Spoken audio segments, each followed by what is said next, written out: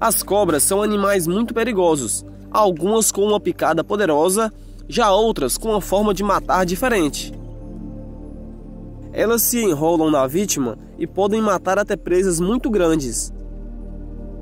Mas existe um pequeno predador que é um grande comedor de cobras, o ratel.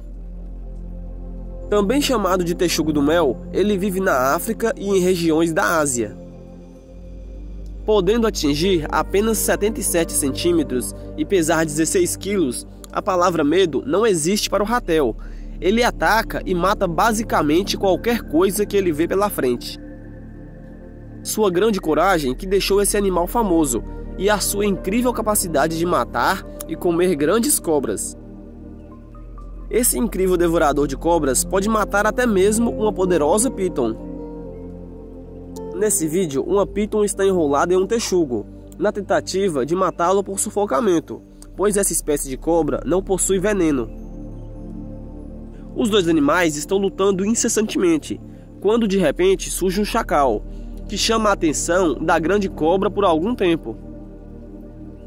Depois, o pequeno texugo consegue se soltar do réptil. Uma verdadeira batalha começa. Os dois mamíferos passam a lutar para saber quem vai levar a cobra para o seu almoço.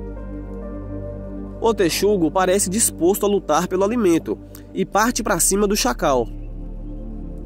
O pequeno texugo de caça virou caçador e levou a melhor sobre o chacal, e ainda devorou essa enorme serpente.